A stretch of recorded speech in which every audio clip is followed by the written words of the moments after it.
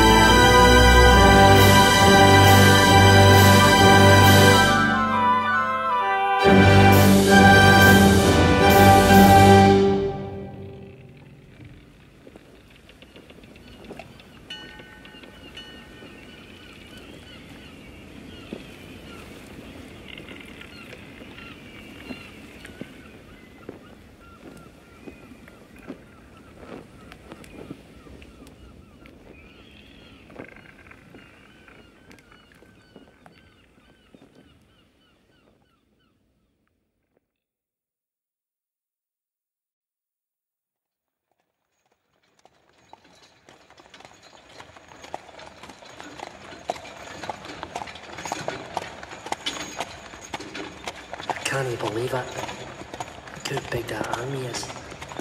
It's quite a sight, isn't it, Tav? You don't want to get caught bunking about here.